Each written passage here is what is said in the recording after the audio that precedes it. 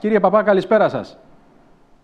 Καλησπέρα κύριε Πομόνη, καλησπέρα και στους τηλεθεατές. Ευχαριστώ για την πρόσκληση.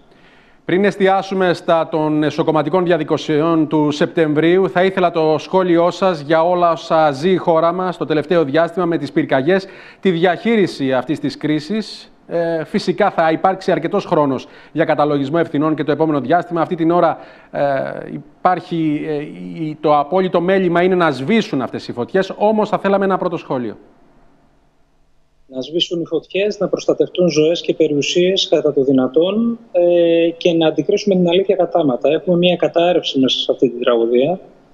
Ως πολιτεία ε, δεν έχουμε τους μηχανισμούς αντιμετώπισης αυτών των ε, ε φαινομένων και θα πρέπει πραγματικά να ακουμπήσουμε το δάχτυλο στην πληγή από την επόμενη. Είναι προφανές ότι υπάρχουν ευθύνες. Θα τις συζητήσουμε με ένταση τα επόμενα 24 ώρα. Θα γίνει και στη Βουλή συζήτηση. Δυστυχώς ε, έχουμε φαινόμενα τεράστιας κλίμακας τα οποία δεν έχουμε ξαναδεί. Δηλαδή αυτή τη στιγμή απειλείται ο οικιστικός ιστός της πρωτεύουσας, ε, επειδή ε, πήρε φωτιά το περιαστικό δάσος της Πάρνηθας και ε, αυτό συνιστά ένα πολύ μεγάλο κίνδυνο.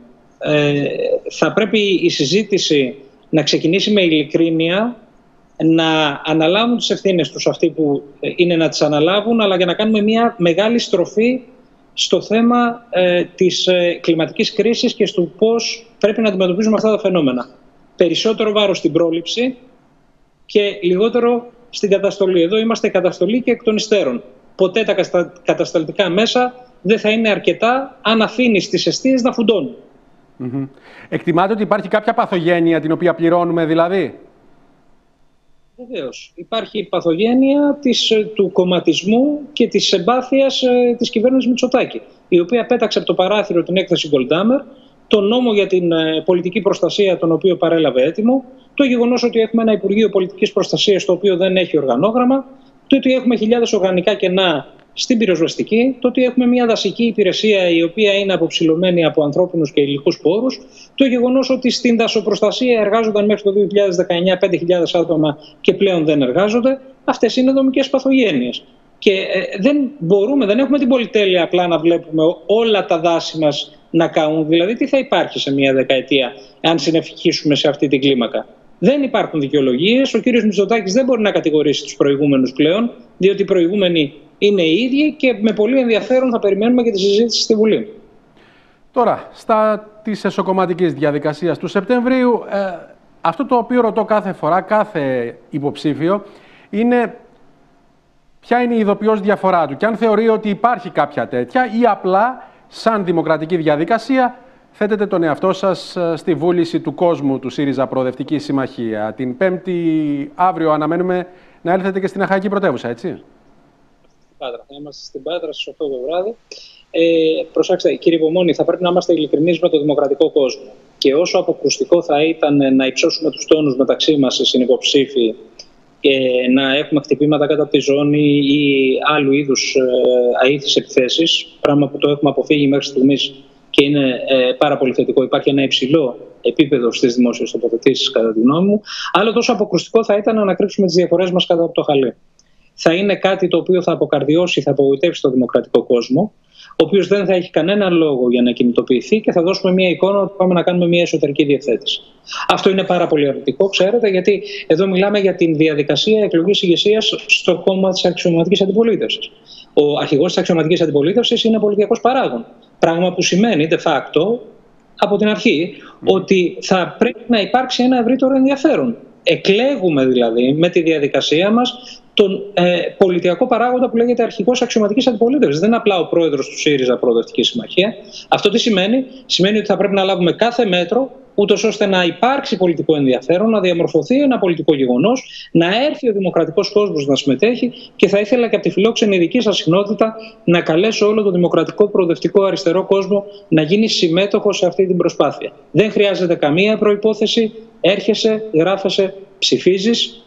Η συμμετοχή θα είναι δύναμη για μια ισχυρή αξιωματική αντιπολίτευση που θα αναμετρηθεί με την κυβέρνηση του κ. Μητσοτάκη, η οποία μπορεί να εγγυηθεί όχι τον ολόπλευρο εξυγχρονισμό, κύριε Υπομόνη, επιτρέψτε μου, αλλά μια ολόπλευρη κρίση διαρκείας. Θα θέλαμε να ακούσουμε και από τα δικά σας χείλη, όχι στη λογική του μιλάω για τον εαυτό μου, αλλά ακόμη και της αυτοκριτικής και της παράθεσης εκείνων των δεδομένων που σας έκαναν ικανό να θέσετε την υποψηφιότητα αυτή. Τι πιστεύετε ότι είναι εκείνο ή εκείνα τα οποία σας ε, κάνουν κατάλληλο για την ε, Προεδρία και για τη θέση αυτή που μόλις πριν από λίγο αναφέρατε του επικεφαλής της αξιωματικής αντιπολίτευσης; Ε, θα πω καταρχήν το εξής. Και εγώ και η Εφη Αξιόγλου και ο Ευκλήδης Τσακαλώτος έχουμε θητεύσει σε υπουργεία στην ε, διακυβέρνηση του ΣΥΡΙΖΑ. Άρα, ε, εκ των πραγμάτων, έχουμε μία διοικητική πείρα ε, η οποία είναι καταγεγραμμένη. Ε, ήμασταν και οι τρεις, όχι ο Στέφανος ο Τζουμάκας, δεν τον παραλείπω, αλλά είναι προφανές ότι δεν ε, έχει αυτό το χαρακτηριστικό de facto. Ε, στα ηγετικά κλιμάκια, λιγότερο ή περισσότερο την περίοδο 19-23.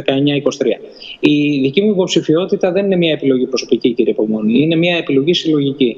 Είναι μια επιλογή η οποία επιδιώκει, φιλοδοξεί και θα το πετύχει να εμβαθύνει τη στρατηγική η οποία μας έφερε την νίκη το 2015 και την οποία δυστυχώς εγκαταλείψαμε το 2019.